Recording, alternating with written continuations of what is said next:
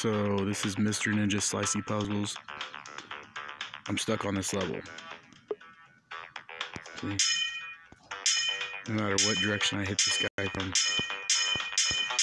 he's blocking it. So they say, stuck on this level, use the golden katana.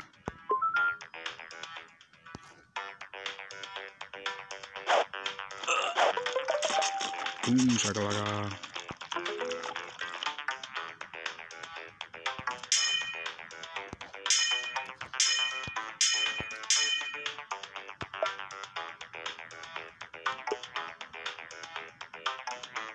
See if I can get him without using the golden katana. A secret to it.